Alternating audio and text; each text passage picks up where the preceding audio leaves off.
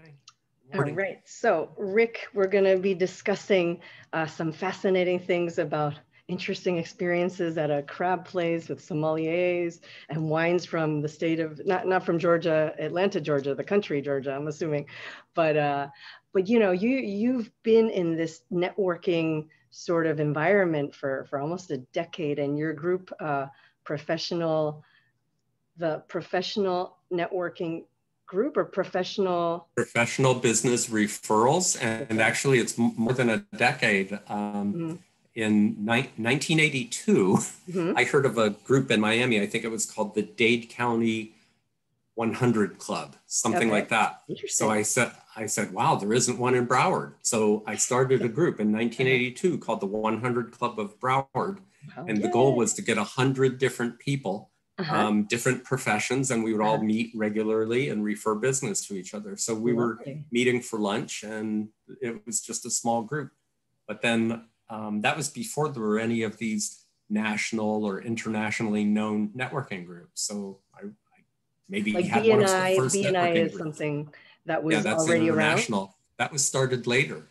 Oh, really? My, my group was before BNI existed. Yeah. How interesting. And and they referred to them as business net. How did they refer to them? Business referral um, groups, networking or? groups, or business referral groups. Yeah. Mm-hmm how fascinating. I think I always just looped them in with chamber groups, but how would you distinguish the distinction between the two actually? Uh, well, a chamber of commerce does more things, and networking is only one of the things a chamber of commerce does. But our mm-hmm. networking group, professional business referrals, we only do one thing.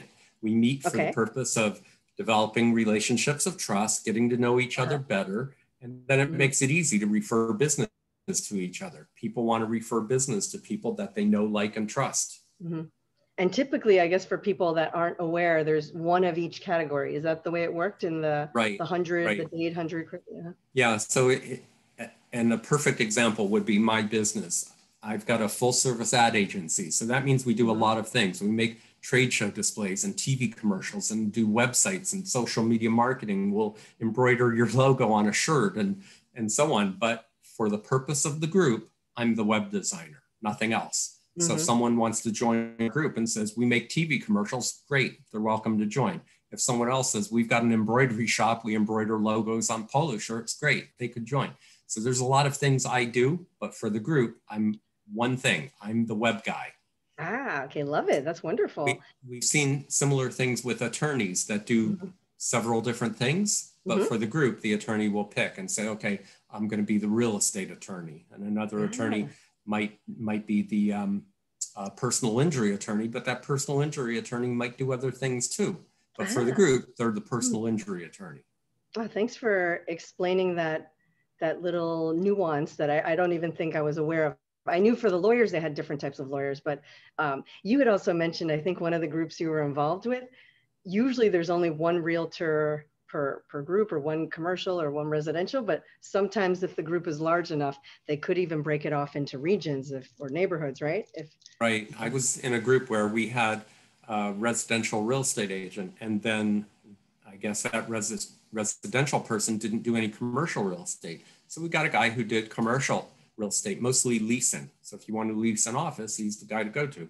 And in mm. fact, I hired him two different times to first to rent an office and then to buy an office. But then um, the residential person said, you know, I only work here in East Fort Lauderdale. So he said, if, if you, you want to get someone to do West Broward, I wouldn't mind at all. So we got mm-hmm. someone else from Coral Springs who was doing out West. So we actually had three real estate agents in our group. Perfect. Had 54 people in the group at the time. Wow.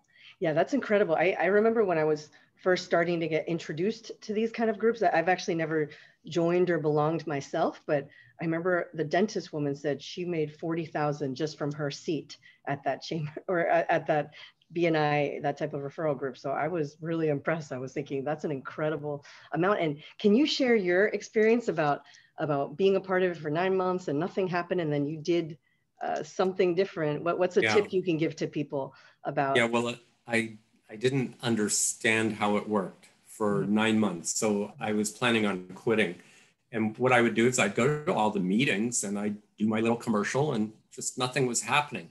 And then someone said, well, you've got to do these meetings with the other people, get together with them, maybe go have coffee and, and talk about things and you find things in common. Maybe you like golf and they like golf, or you like scuba diving and they like scuba diving. And so it gives you something to talk about. And mm-hmm. then you get to know each other a little better. And when you do that, then the referrals just seem to come naturally.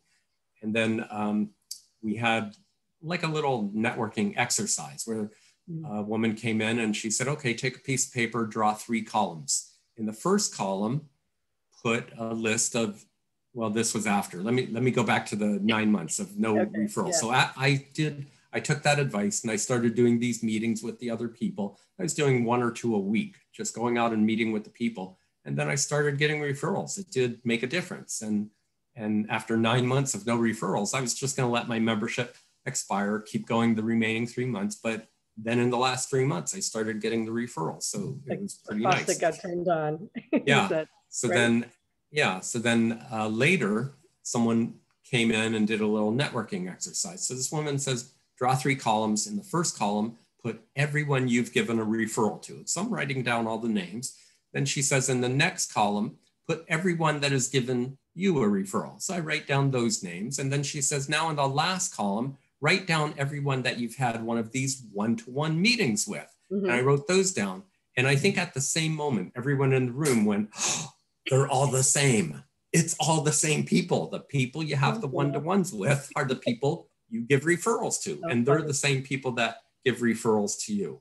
So it, it just took me a while to realize, but that's all it was. Just go meet with the people. Showing up at a meeting and talking for 30 seconds or 45 seconds not enough. You've got to mm-hmm. meet with people, get to know them, give them a chance to get to know you, and then they want to refer business to people they know and trust you know and and i loved what you all did. Yours was the first uh, zoom sort of virtual networking event that i had attended right at the start of the pandemic and i had just lost my job so i figured oh let me just see you know what's going on here. Um, but i noticed last week the exercise you guys did was very uh, was very interesting. You, you all had people talk about some personal part during the introduction of the one or two minutes and then in the middle of the meeting. Can you tell people about those kind of ice breaking uh, sort of exercises as well? Because I, I thought that was very powerful, very interesting.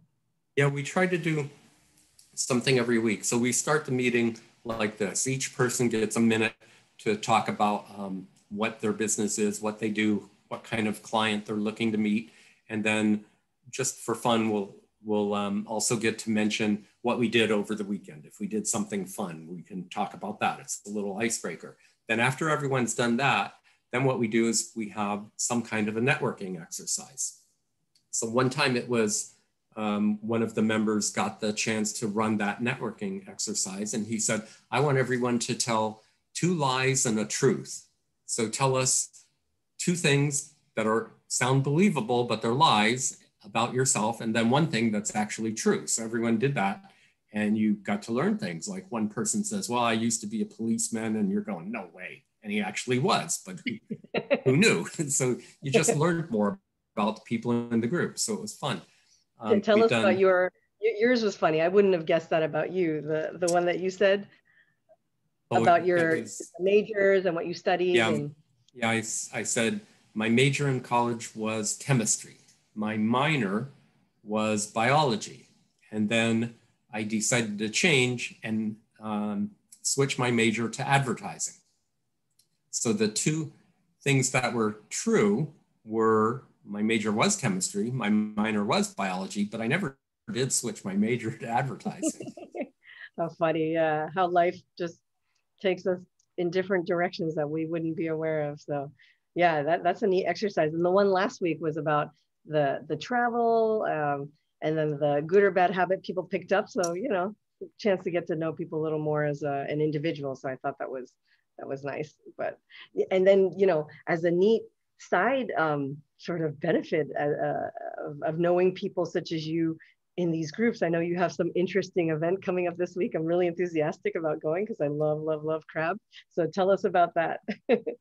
Well before the um, pandemic we were doing our meetings in person and we would meet at a restaurant. So instead of doing that network, networking exercise that we do in the middle of the meeting, we would have one person who, who would get 10 minutes to go into more detail about what they do. And we had a, a um, projector. So if they wanted to do a PowerPoint, they could show that. So we did a lot of that. But we would also, about every month or two months, we would put on an outside networking event, usually in the evening. And it would include um, maybe drinks and some appetizers, and people could hang out and get to know each other. And for that, we would open it up to the public. So we would invite I, I went other to that one. That's how I got. Right. That's how I yeah. got introduced to you. Mm-hmm. Right. You went to when we had a Padrinos in mm-hmm. in Dania, their newest location. Correct. So, um, but now we've got an event where it just happens that a client of mine is opening a brand new restaurant on Wednesday of this week, and he wanted me to come over and take pictures, and I I said, well, it's going to be boring pictures if it's just an empty restaurant. Why don't we invite people in, let them taste the food? Maybe we can get them to write good reviews if they love the food.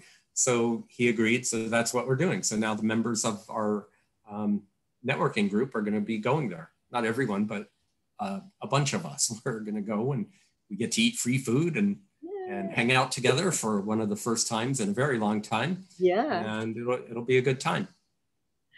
I found, you know, one or two of these type of seafood broil places myself a month ago. Uh, I mean, it sounds not a morbid thing, but both of my parents passed away on the same day, um, 21 years apart, both from cancer, but they were very healthy, extremely, you know, never drank, never smoked. But so, anyways, anytime there's an anniversary, we always uh, eat crab because my mom loved crab. My dad used to take us to this rustic inn place where they had the hammers and really tasty, amazing golden crab. But think they don't really have it almost ever anymore just because it's not around but um but so i so right around the time of uh, my mom's birthday a month or two ago i found this place. Yeah it was last month and uh, i got to eat all the very similar stuff that i think we're going to get to try this week. Um, but you had mentioned the other place that yummy crab has in uh, in broward is close to the Sawgrass Mall. And last time, right. is that the place you did the event with the wine tasting yeah. and stuff? Or yeah, tell us about that. Yeah, it was great. There was a sommelier there. Mm-hmm. He used to work at one of the hotels on Fort Lauderdale Beach, mm-hmm. and now he just started in, importing wines from the Republic of Georgia, nice. which is where he's from. So the wines were from great varieties that I've never had before. They were amazing. So wow. we got. I don't know if we're doing that again this Wednesday, but we'll find out you should mention it just you know you could in case he forgot or or maybe the sommelier is is that there maybe he can if he's still working with the, the restaurant maybe he can uh, come and just introduce himself or introduce georgian wines. I wasn't really aware that wines were really even made in that region but they, they have fascinating food always. Uh, I, my um, my cousin married a girl from Belarus. So once every week or two, they would invite me over, you know, every few weeks. And I got to try interesting things, I think, from that whole region. I'm, I'm assuming is similar food. So, uh, so I'm enthusiastic to, to try anything new or see any, any new stuff. Um, what, you know, what else is a, another tip you would give for people once they're at a networking event, whether it's virtual or in person? Is there something maybe you see people do incorrectly or that they could do better you think? Just yeah. The, the uh, a good way to do things is to ask people about what they do and ask questions about that rather than like the chamber of commerce events that i've been to it's just a bunch of people running around as fast as they can trying to stick a business card in your hand and then they're on to the next one. And you leave the event you've got 50 business cards you can't even remember who the people are, and you throw them away. And probably everyone's doing the same thing. and, and so it's a waste of time. It's we compare it in our networking group to what we call hunting or farming. So a hunter goes out and tries to shoot something so the hunter can eat that day. But in farming, you plant seeds and you water them and take care of them. And that's how our, our business referral group is. We want to um, develop relationships. So when we talk to another person in the group. It's not where I'm trying to sell you what I do and you're trying to sell me what you do. It's about getting to know each other. And then mm-hmm. if I feel like, gee, Eva's nice, I like her, and maybe I can refer someone to her. And then if I do get lucky enough to refer someone to you first, then you feel obligated. so you feel like, God, Rick gave me this great client. What can I do for Rick? So yeah. I've really tried hard to refer business to other people. That seems to make a big difference in how well you do in a networking group. And I've got a perfect example of that. In, in a networking group, there was a um, personal injury attorney. And the personal injury attorney is a nice enough guy, but he never got referrals. And after one year, he quit. And then a new guy joined, personal injury attorney. I thought, well, he'll probably be here a year and quit. But what he did is he had me make his website and he hired someone else for something different. And he hired the computer repair guy to run cable in his new office. And he just kept hiring everyone in the room to do different things that he needed. And he was getting referrals like crazy. So I thought personal injury attorneys, this networking thing just doesn't work. But it was mm-hmm. the guy, it was the way he handled it. One guy just uh-huh. showed up to the meetings every week. The other guy got really involved and tried to give everyone else business. So that made a big difference. You know, I, have done. I just, no, no, go ahead. You've done what? I, uh, I've done well in networking groups. And after that first bad experience of nine months with no referrals, um, I went on to have my best year, which was $116,000 in my pocket. And then more, yeah, more normal years, it's about 50,000 a year for me. So when I stand up and give a one minute, one minute commercial in the group, uh, 50,000 a year, you go, let's say you, maybe you miss a meeting or two, so you attend 50 meetings. It's like I got paid $1,000 to stand up and talk about what I do for a minute. That's incredible. That's good pay. that is incredible. No, honestly, if, if people aren't familiar with these type of groups, I mean, you even told me about the, uh, was it the roofing guy? Like he just had so much business even from five years after that he yeah. couldn't keep up yeah, with the amount of referrals he was getting, right? Right. He left the group years ago, and I started this new group, the Professional Business Referrals Group. And I contacted him. I didn't know if he was in the group or not. Uh-huh. He said, No, I, I can't do any more networking. I've still got so much business from that uh-huh. group we were in together years ago. I said, How long you been out? And he said, Five years. And every day the phone rings and it's wow. a referral from someone from that group. Wow. That's yeah, that's so really incredible. Right? Really works. There was yeah. also a dentist in that group Mm-hmm. And she had just moved from the west coast of Florida over to Fort Lauderdale. So she didn't know anyone, no one knew her. She joined our networking group and she finally had to quit the networking group because she just couldn't take any more patients. She was full, she was busy every right. single day. From all of us either going to see her ourselves or referring friends and family and people that we know to her.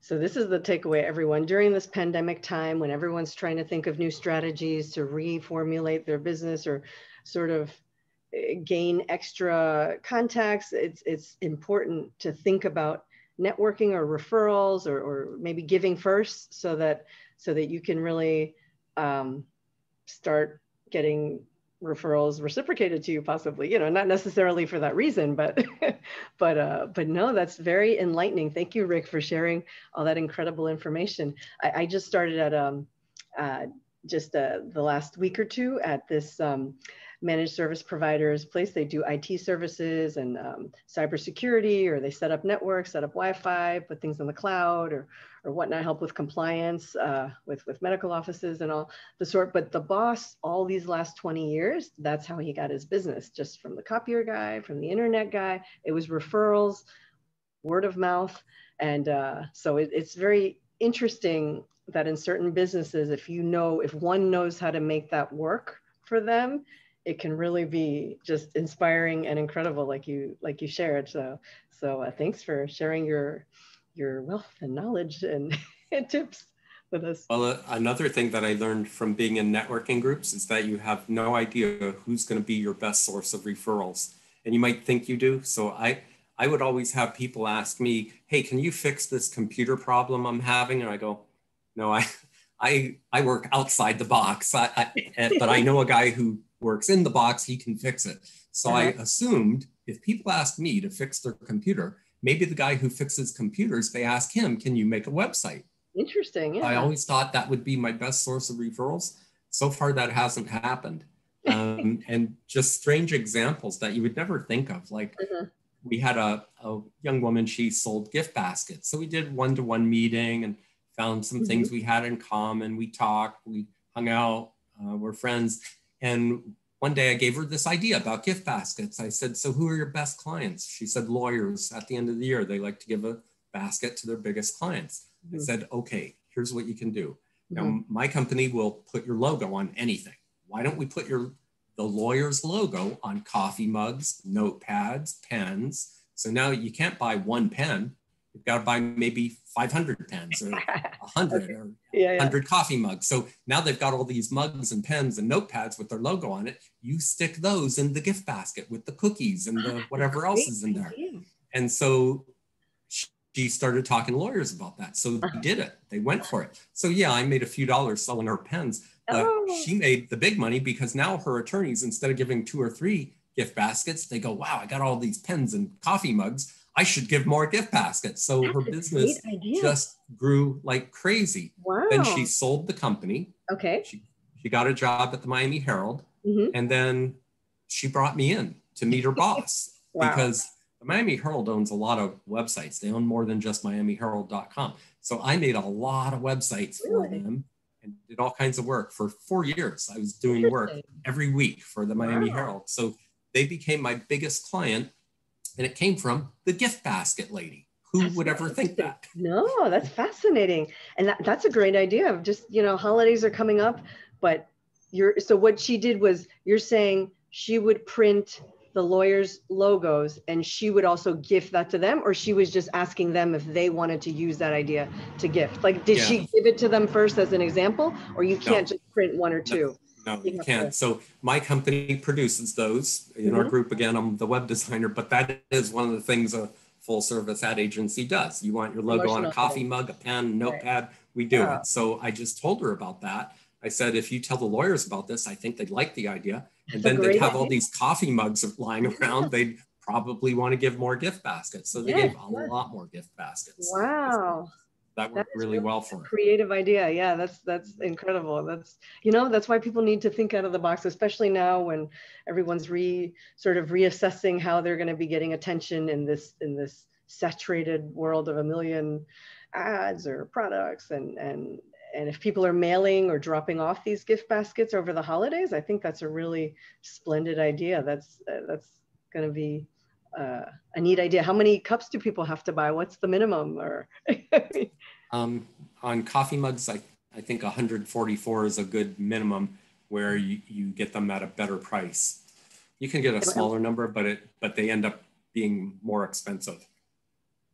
And, and what about the um, the notepads you said? How, how, how many do people need to order of those just to kind of? Uh, there's like little little pads like this, maybe two inch by three inch, and you get I think 25 sheets to a pad, mm-hmm. um, but you get 500 of them. So it's it's a box about that big.